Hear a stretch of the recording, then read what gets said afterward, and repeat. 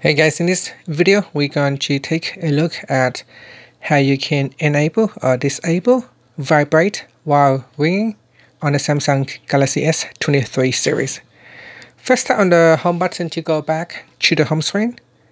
Then swipe down at the top and tap on the settings icon. Next, we scroll down and tap on sounds and vibration. Then in here, tap on vibrate while ringing On the toggle button to turn it on. Uh, switch it off. If you turn this on, then when you receive an incoming call, your phone will also vibrate.